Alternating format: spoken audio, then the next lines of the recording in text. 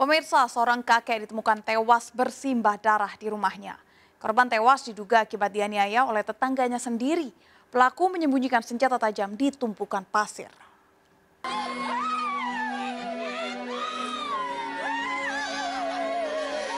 Tangis histeris keluarga pun pecah ketika melihat jenazah Imam Masjid Dusun Botong Sungu, Kabupaten Takalar, Sulawesi Selatan, tewas mengenaskan.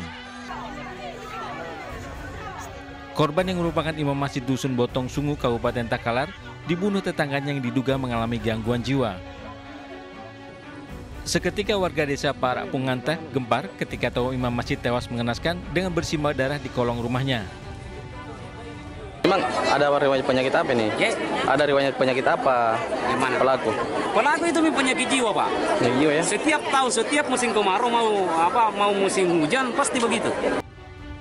Aparat Polsek Polong Bengkeng Utara Kabupaten Takalar yang tiba di TKP langsung memasang garis polisi dan menemukan senjata milik pelaku.